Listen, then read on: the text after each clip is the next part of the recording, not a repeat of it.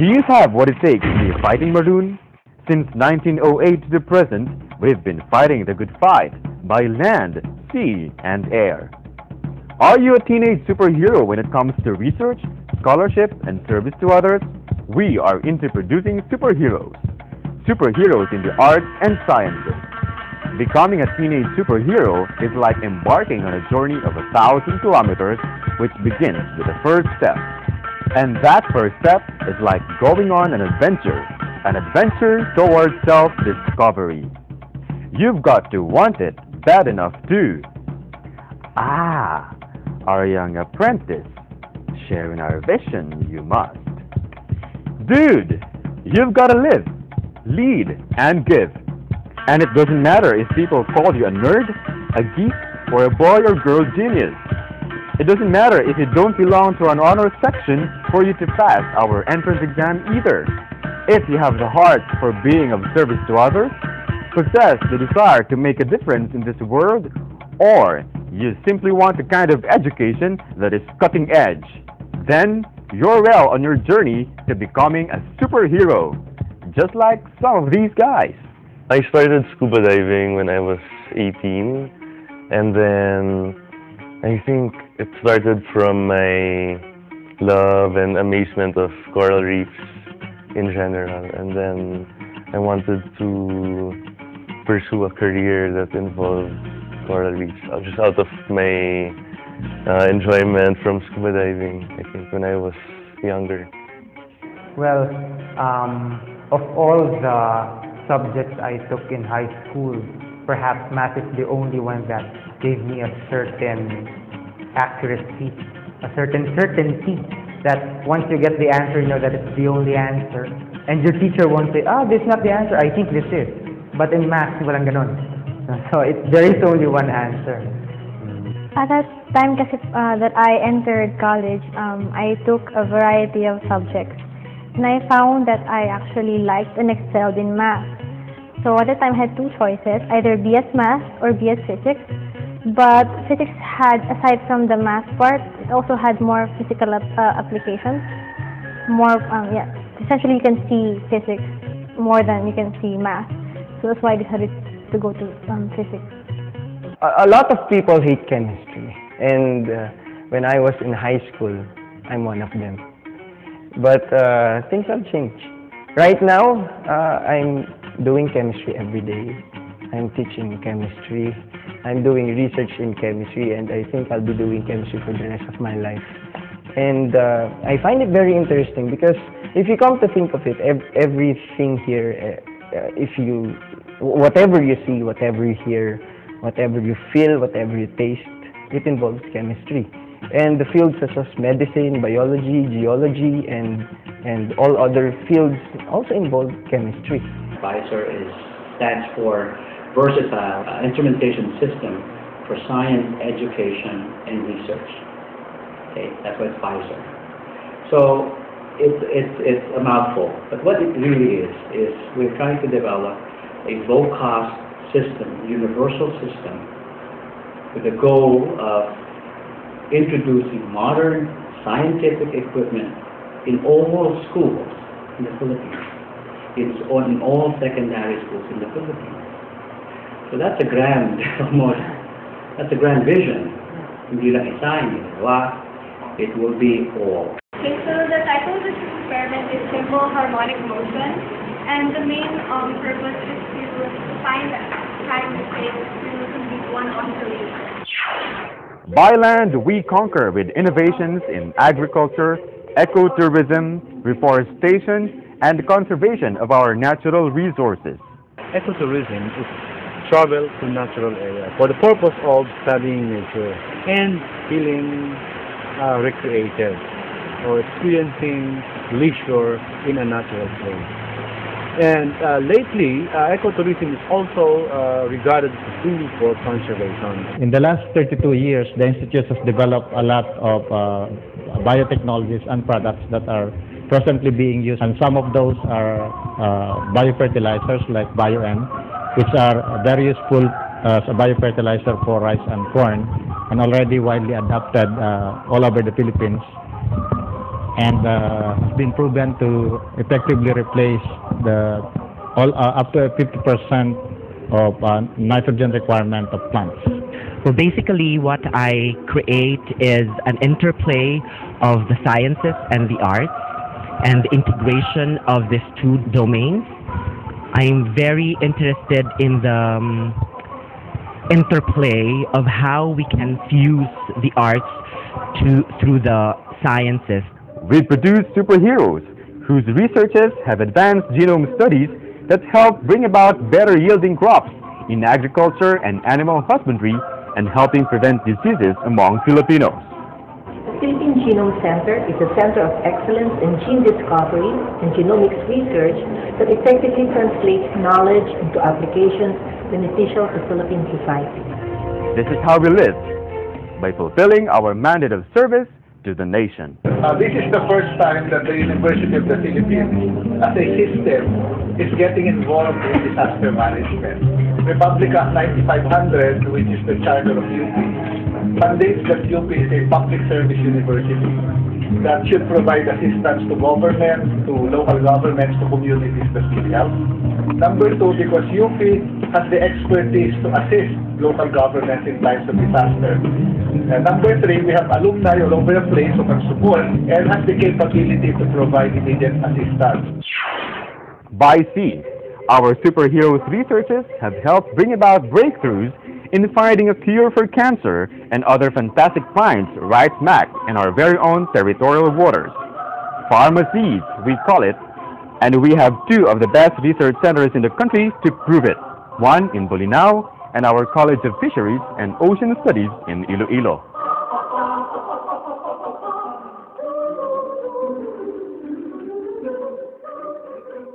We decided to try to find out what in the cone snail venom kills people.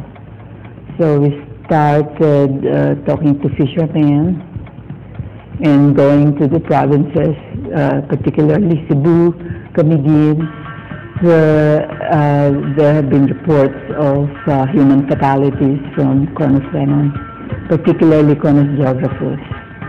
So that started us on this research.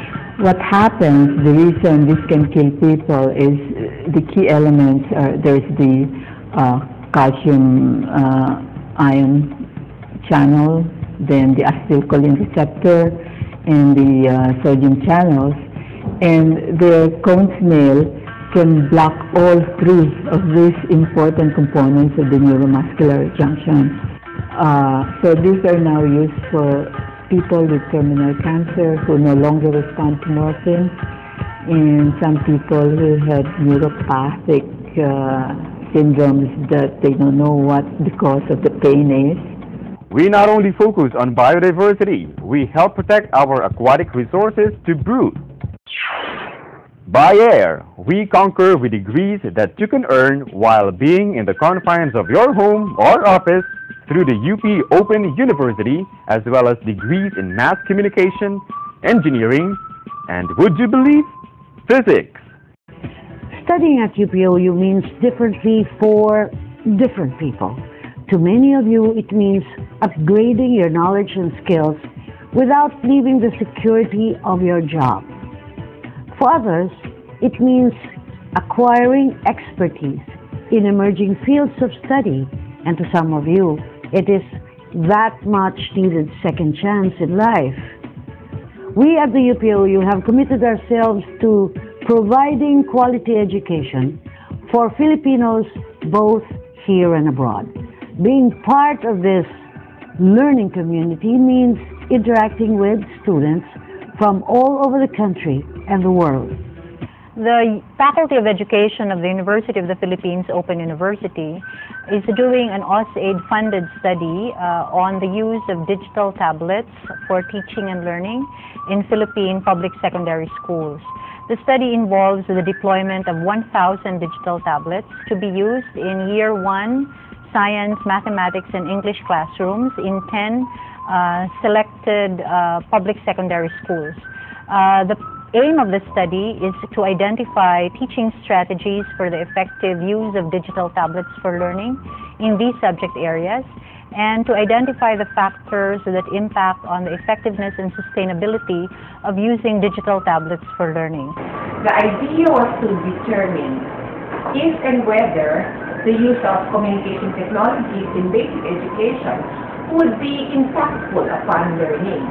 The molecular beam epitaxy is a technique to grow or to deposit thin films through the interaction of molecular beams on a heated substrate. The microchips found in your computers, they have awesome beginnings. First, they have to be grown using the molecular beam epitaxy or any epitaxial technique. That's the first stage.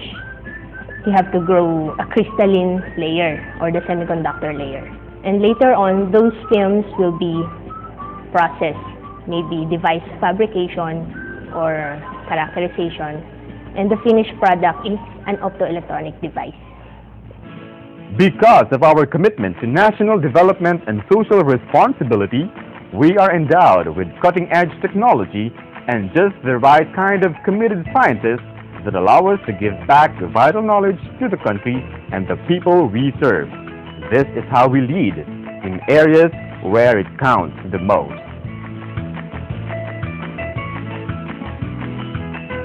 It stands for nuclear magnetic resonance. So basically, um, what it does is it uses uh, electromagnetic fields, able to change the electromagnetic um, orientation of the atoms in in your sample, so that you can get an, a picture of what its molecular structure looks like. For my field, for example, I study sponges. Many sponges produce compounds that haven't even been discovered. So in order for me to write a publication about this compound, I have to know what its structure is. And so for this situation, the NMR is a very valuable tool because it will allow me to know the structure of my compound. There aren't too many machines like this in the world, so it will make a huge impact in science because this is a huge piece of equipment and usually big discoveries require big machines. Right now we're in the um, femtosecond laser facility of the National Institute of Physics. Uh, we have here a, a femtosecond laser which is a laser that can turn on and off at very fast speed.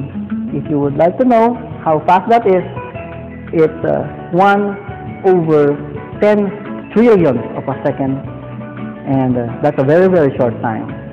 And we use it for our experiments in trying to look at how um, materials react to very very short events. I, I, I never saw myself staying out of the country for a long time.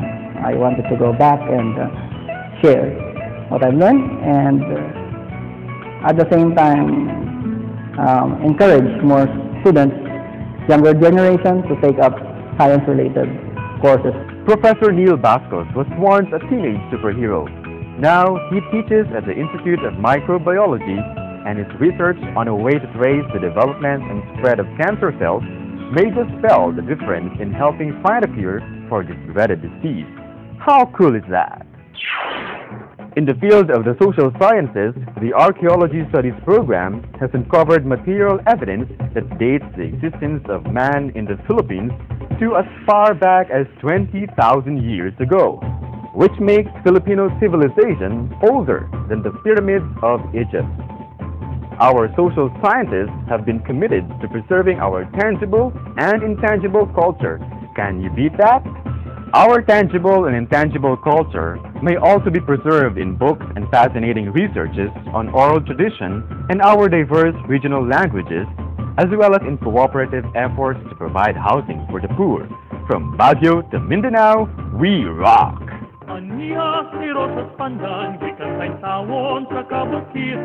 Aside from teaching, I did also a lot of um, of uh, research in the field, especially in among the Panay Bukidnon, the epics, studying the epics of Panay, documenting them, translating them, making articles out of them, making analysis, especially uh, how important are these epics in relation to um, the way they reflect pre-Hispanic culture, no? The Community Development Program of the College of Arts and Sciences of UP Visayas uh, has established a partnership with the Homeless People's Federation of the Philippines Incorporated for the last five years.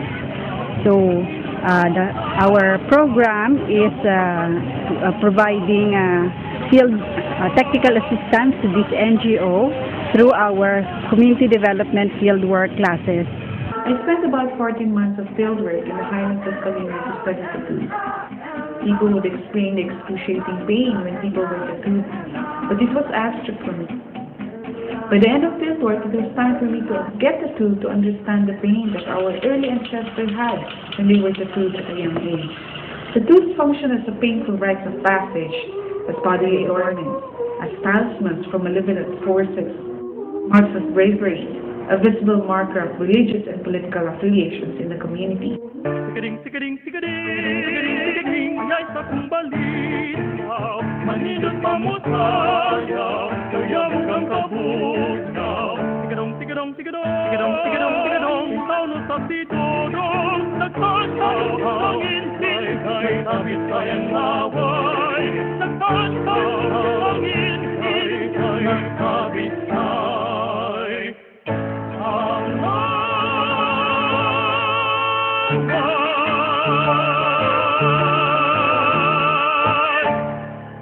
And as our friends in the Visayas and Mindanao would say, Padayon UP, onward to being of service to the nation.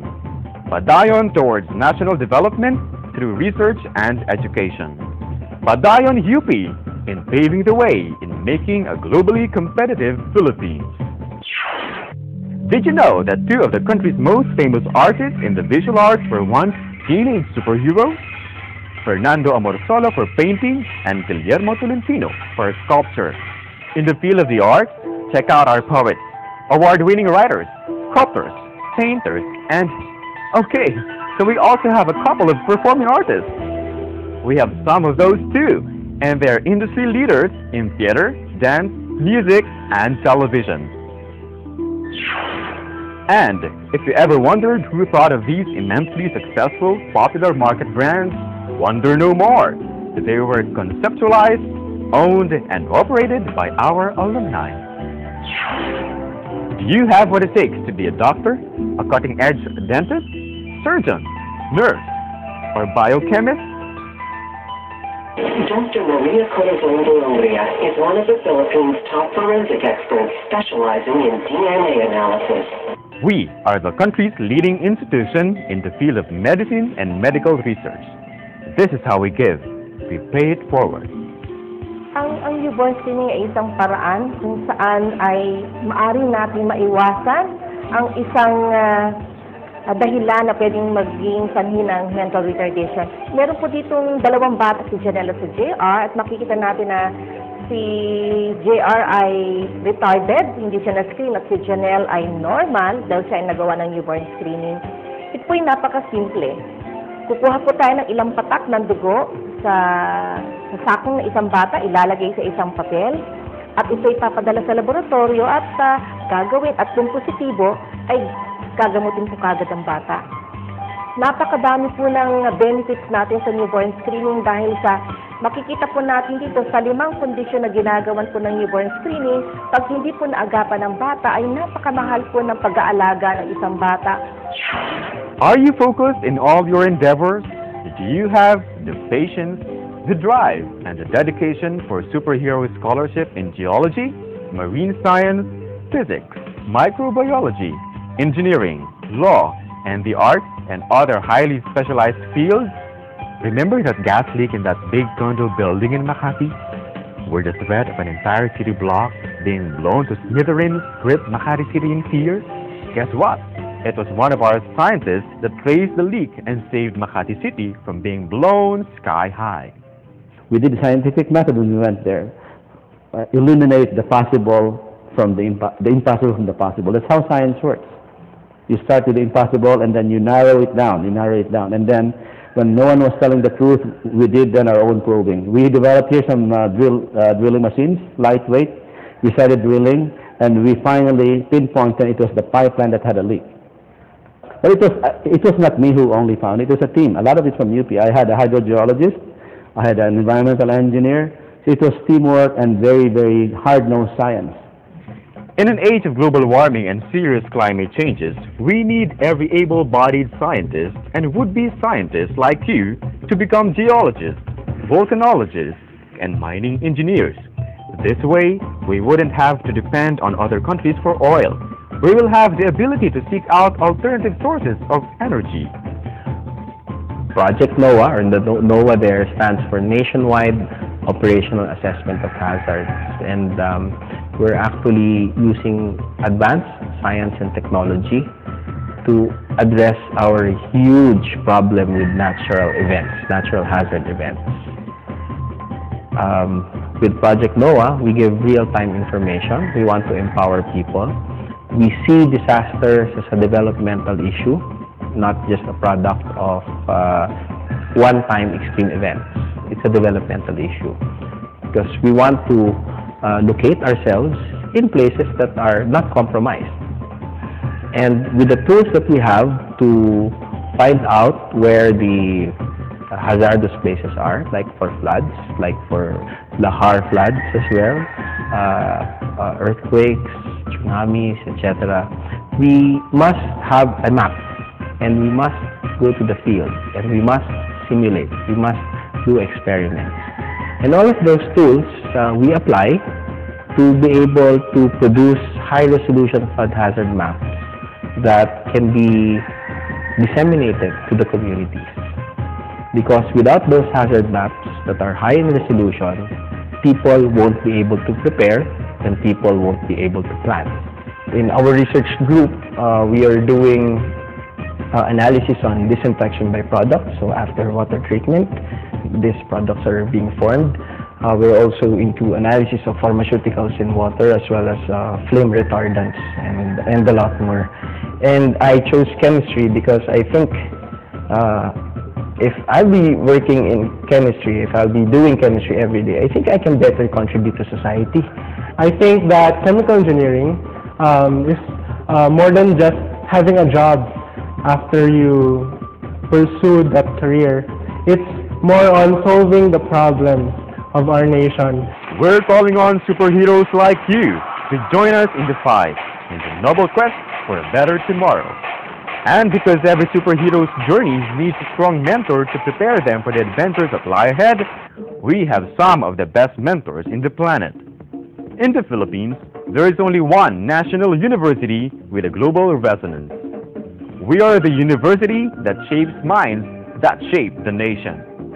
And we walk our talk too. Give me an I. Give me an N. Give me an internationalization. We are one of the few universities in the Philippines affiliated with some of the top universities all over the world. Should you want to pursue one of our twinning programs, you can earn two degrees locally as well as internationally through exchange scholarships and the UP Open University programs. Today, I join all of you as we collectively embark on a journey towards making the University of the Philippines a great university in the 21st century. We are a university with a formidable history and a tradition of honor and excellence. Core values that give us our superpowers, plus the added expertise of a solid faculty to back us up. We have the broadest range of facilities and the farthest reach in terms of our campuses and constituent units, from as far north as Baguio to as far south as Mindanao, we make our presence felt. Our graduates range from Presidents of the Republic to the Secretary General of the United Nations, from national artists and national scientists to box office and beauty queens. Yes, we have those too. Only one university has shaped and molded them to becoming the best in the country and even the rest of the world. I spent five years of college here and it has molded me in many ways, in both in, in my acad- um, academic performance, of course, um, and study habits and discipline. I became a lot more street smart and more technologically adept. If you want to enter in UP, make sure that you want because you want to learn. I think one of the best things that happened to my life is being uh, uh, being given the chance to teach here in UP, especially in the Institute of Chemistry, because uh, teaching in front of the bright minds of the country is, is a privilege. We are one UP, be it in Diliman or Padre Faura, Los Baños or Baguio, be it in Iloilo, Tacloban, Cebu or Mindanao, or the UP Open University. There is only one, University of the Philippines. So, if you have what it takes to be a superhero like these maverick scientists and artists, then maybe you should be an scoop or an star, an oblette or an oblette. In short, a full-blooded maroon. Not just a teenage superhero, but a scholar of the people in the one and only University of the Philippines.